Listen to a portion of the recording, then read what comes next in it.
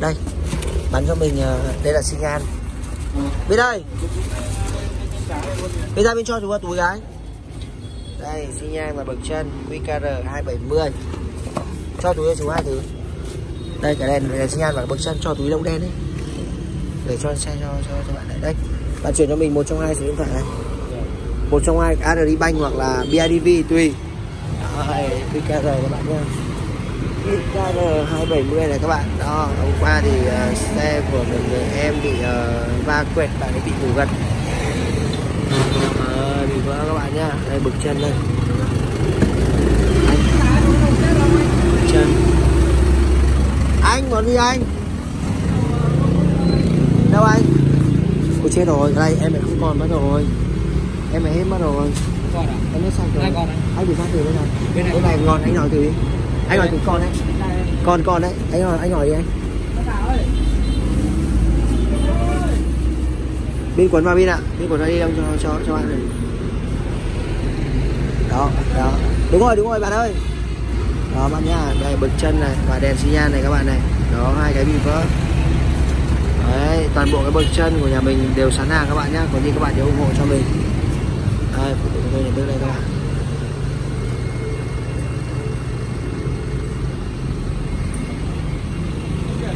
Ok chưa cho mình chụp lại một hình ok xong. Mình cảm ơn nhá. Chạy nhá. Có gì alo nhá. Anh thử anh ngồi thử cho em vâng anh đợi tí là là là bác ấy về đây nhá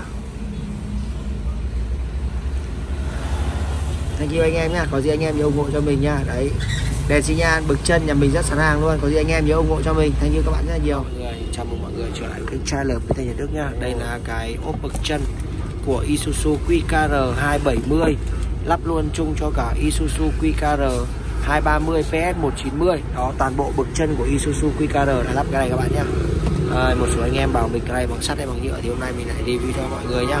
Cái này nó bằng nhựa cứng các bạn nhá. Một trong những loại nhựa cứng này.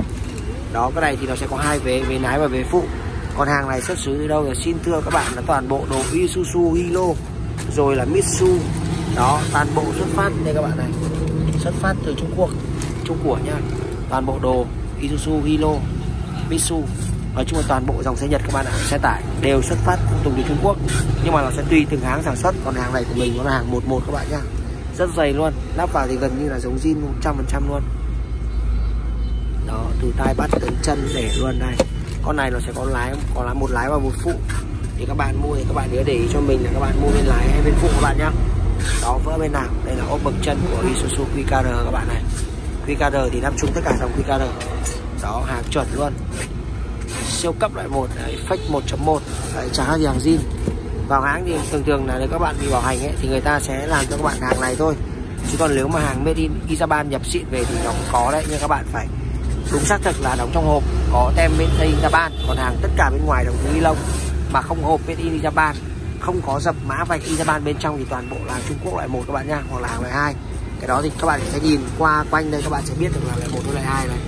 Thứ nhất là ốc ác, nó làm rất là zin, đẹp luôn.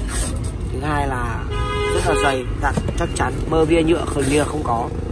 Làm rất là dày chắc chắn luôn. Đó, có gì anh em ủng hộ cho mình nhá. Ốp bậc chân của QKR 270 QKR 230 và BS 190 đó, số điện thoại của nhà mình là 09788 23083 và 09788 23038 cũng như là 0243 861 6426 cảm ơn các bạn rất là nhiều.